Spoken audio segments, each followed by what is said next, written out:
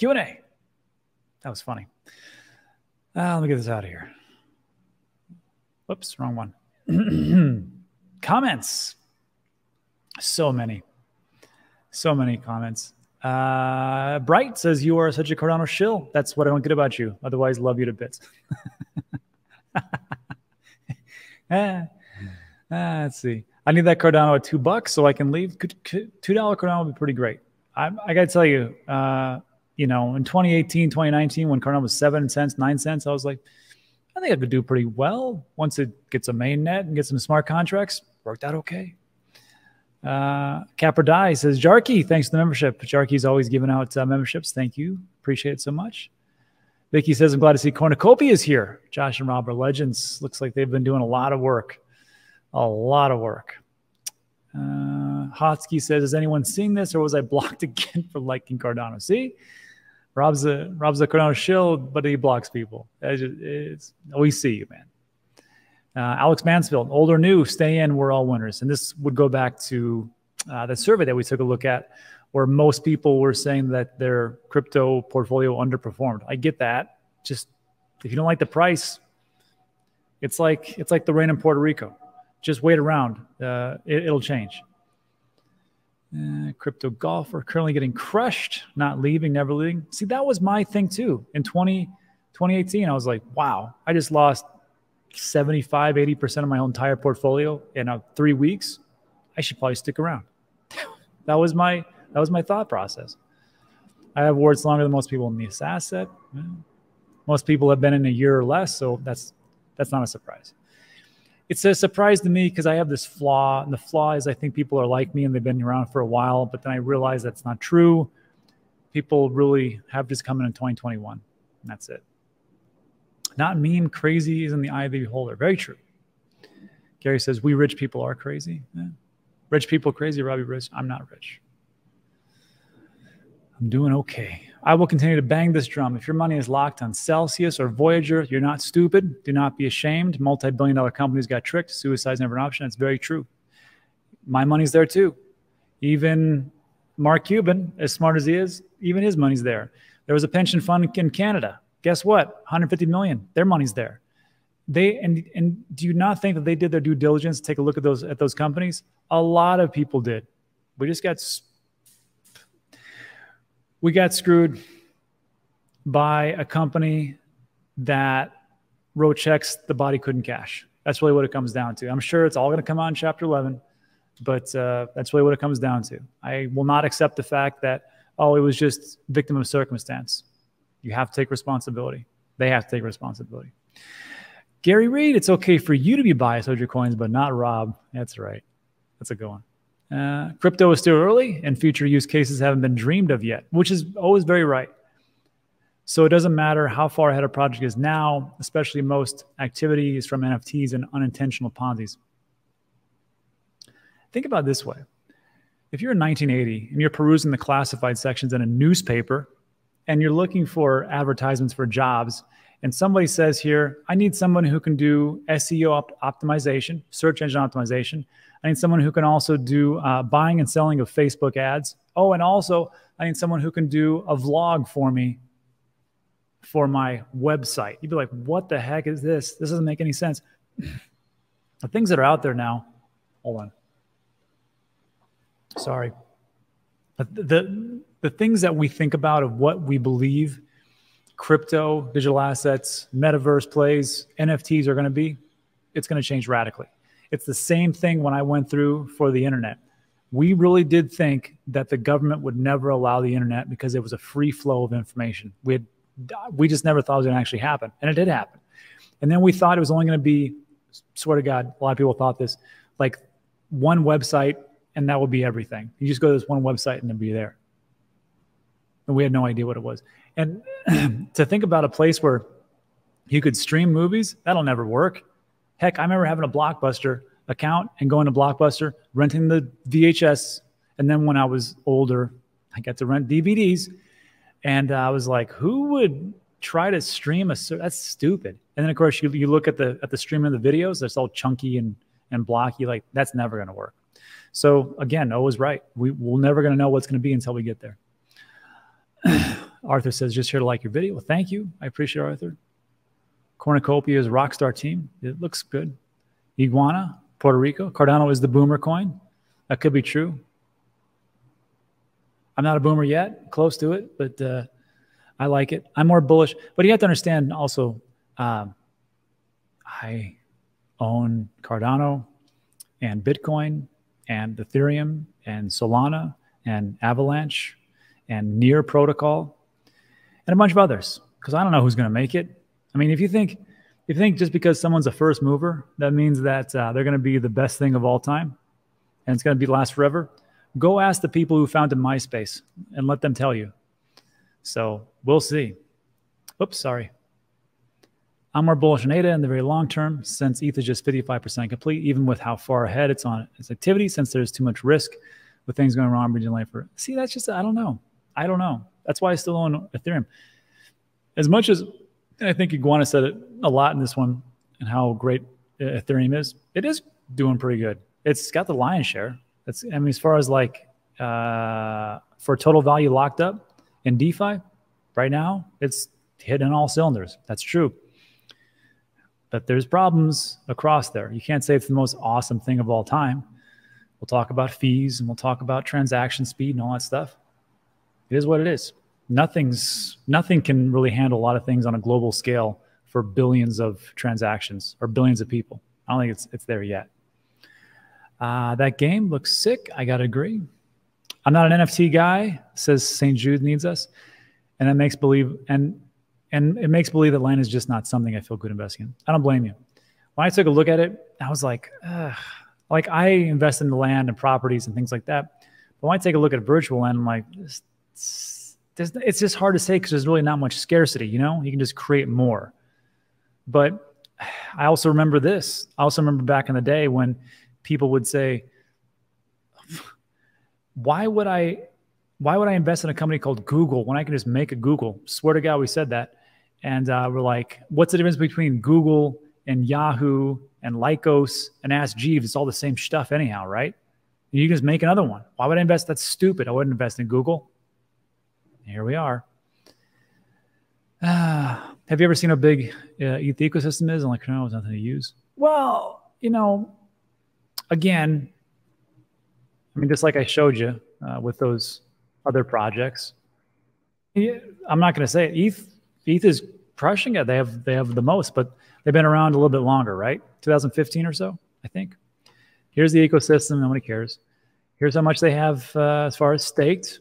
Pretty good amount. And one more thing: when ETH 2.0 comes about, I was under the impression you could unstake, but you can't unstake the ETH that you put in there until the Shanghai upgrade, which is going to be in six to 12 months later.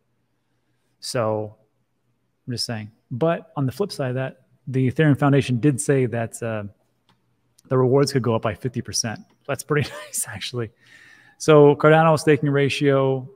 Here's the top 10 crypto assets by staking market cap. Ethereum is number one, true. Solana is number two, and Cardano is number three. Not a bad company. Polkadot, Binance Chain. DeFi Llama, here's the total amount of total value locked up for as far as DeFi, $72 billion. Ethereum has a lion's share. Very true, 45 billion. Uh, Bitcoin's got a whopping 118.55 million, and Cardano's only got 118.56 million. So at least it beats Cardano. And then we talk about transaction and fees. Crypto fees for Ethereum is, is huge. Like if you take a look, there's a website, cryptofees.org, or sorry, cryptofees.info.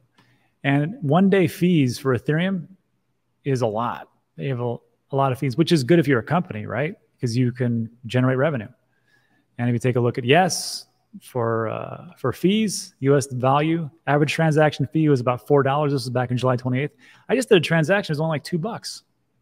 I guess no, not too many people are using uh, Ethereum as much. Cardano. This is a was this a one day? Yeah, the one day fees for Cardano is thirteen thousand dollars. It's laughable. Ethereum was three million six hundred fifty five thousand seven hundred thirty one dollars. That's Ripple it takes the cake though, Seven 750 bucks. It's pretty good. And again, 19 cents was the average transaction. And uh, what is this one? Some cost of transactions. Oh yeah, yeah, yeah. This is the uh, the amount of transactions or how many transactions Ethereum, if you look at just the transactions in Messari, Ethereum crushes Cardano. The transaction count was 1,158,621. That was on July 31st. And uh, Cardano only had 91,000. But you have to remember, you can put multiple assets on each transaction. And that's why you do what's called an adjusted transaction volume. This is an estimated on transaction volume for the past 24 hours, adjusted to try and remove some type of non economic transactions, you know, back and forth nonsense stuff like approving your entry into MetaMask or whatever else. Um, for the adjusted transaction volume, uh, in one day, Ethereum did 1.52 billion. It's a lot. It's a lot. That's a lot. But Cardano did 7.82 billion for the adjusted transaction volume. That's just not me. And you can verify all this stuff. There's all the places I found it on Messari, on Crypto Info, DeFi Llama, whatever else. And the link is in the description. It's where did I put it? It's called uh, RIP Cardano Ghost Chain. There's a link. You can check it out. So pros and cons, my man. Pros and cons. Uh, Brandon's got a good question.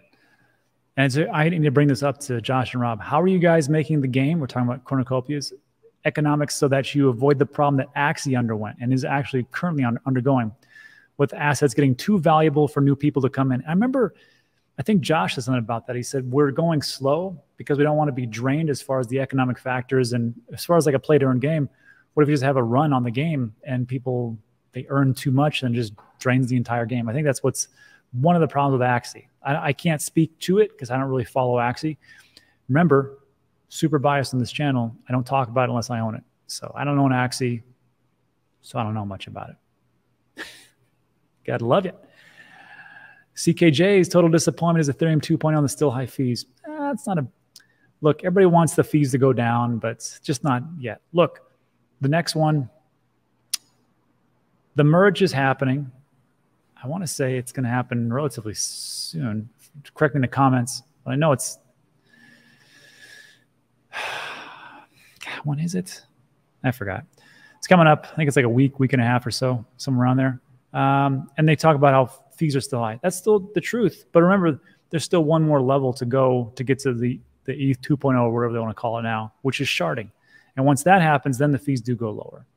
But we're early, so who knows? Mm. I did not know this. Darth Mike says the usual develop cycle for a game is around four years. That's a lot. And I was surprised what Josh said about Star Atlas, uh, the game I think it's built on the Solana platform. Eight years is when they're projecting, you know, mass, the mass release. That's a long time. And that could be, I don't know, that's just what Josh said. Not me. This is very great. Thank you. when chatting about pros and cons of beta, please hit the like button. And then uh, you're entitled to your opinion. I think that if this space taught us something, is to be humble and now and know that we don't know. It's just like it's like Seneca. Was it Seneca? Seneca or Marcus? No, it wasn't Marcus Aurelius. I think it was Seneca. He said, uh, "I'm the smartest man in the world because I know that I know nothing." By the dip when moon. O says it's still technically alt season even after the dump from the weekend per alt side alt season index. Oh, where do you find that? I'm, I'm interested. Alt season index. That'd be interesting. Hit the likes. Where can I check what percentage of nodes have upgraded? Eduardo, that's a great question. You're looking for uh, this website right here. It's pooltool.io. And I link that in the description so you can verify this stuff which is right here. Pool tool, Cardano data, pooltool.io network health.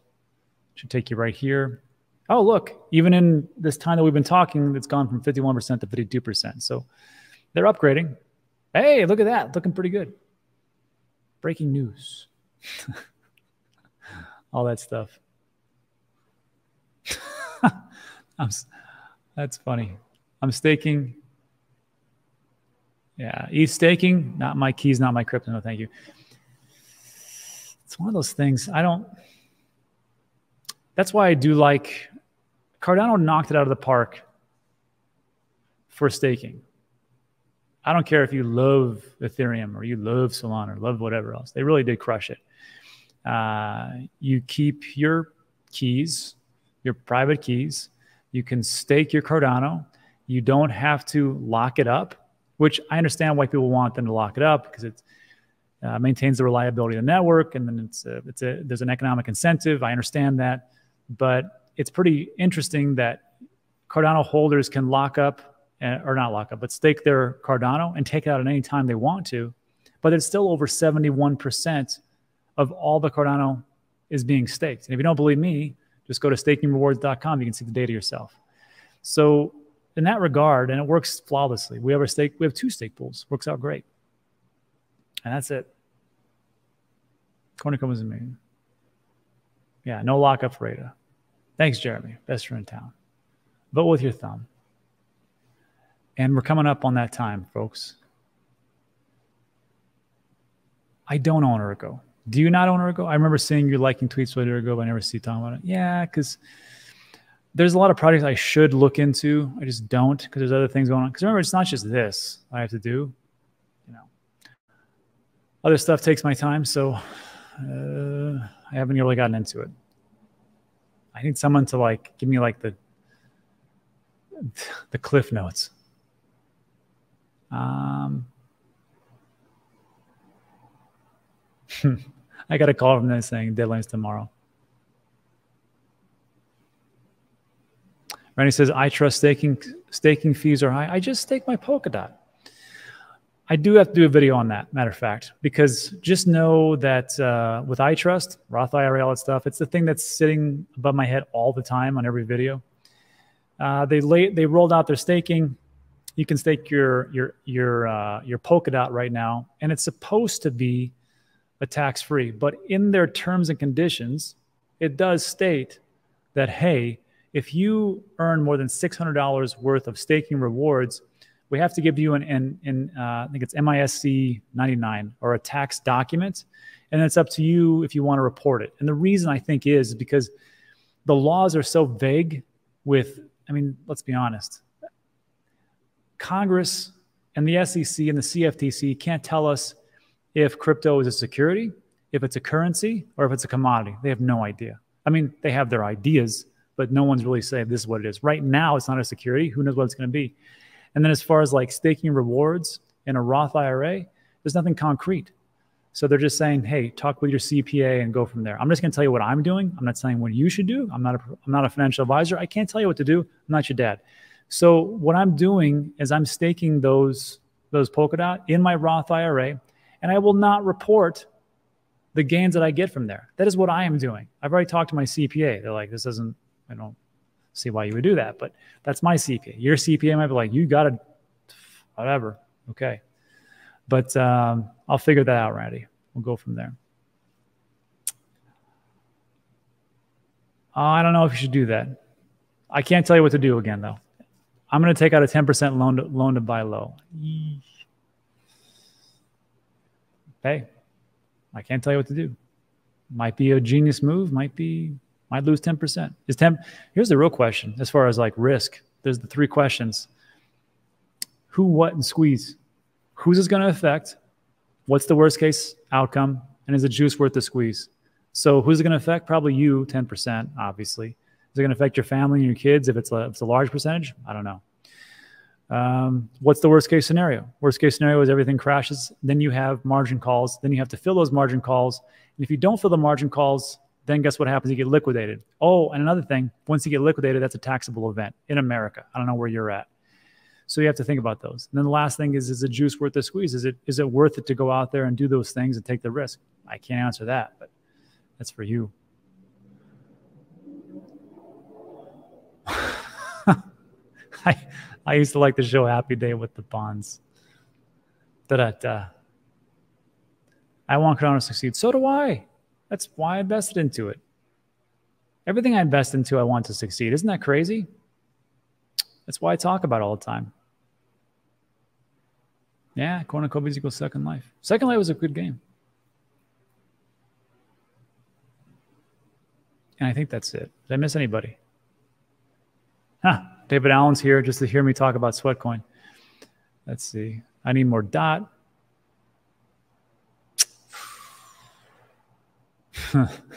Mom says you're beyond on child support. My kids are gone.